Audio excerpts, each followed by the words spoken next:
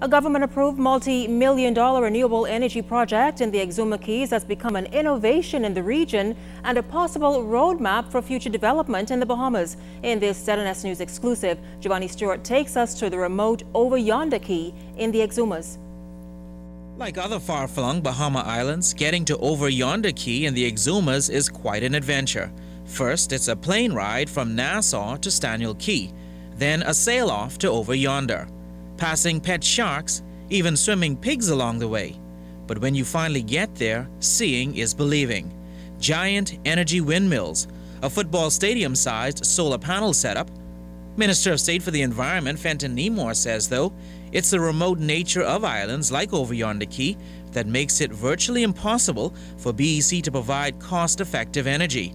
Therefore, it has to be provided by some other means.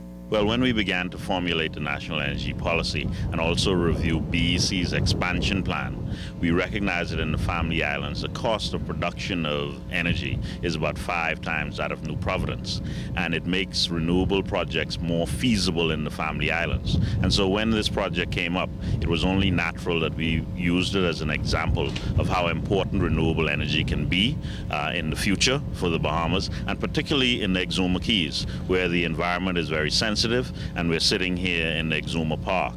The 70 plus acre over yonder Cay is owned by the Basage family.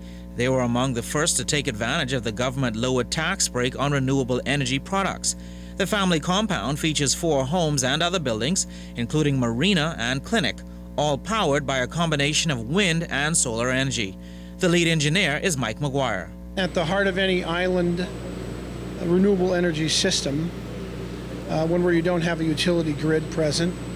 Generally, you have a um, the heart of a system, and batteries are the heart of a system that is an island renewable energy system.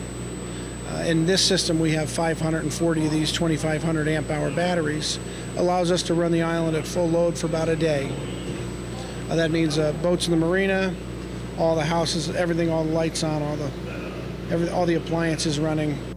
Minister Neymour, himself an engineer, says the $6 million renewable energy investment at Over Yonder Cay is unique in that it is the only project of its kind in the region using more than one source of natural energy, sun and wind, with a diesel generator as the backup.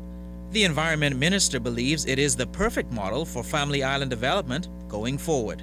Without question, in the Exuma Cays, this could be replicated. Here on Yonder Cay, builders are on a mad pace to try and finish this compound in time for the Christmas holidays. Reporting from the Exuma Cays, I'm Giovanni Stewart, ZNS News.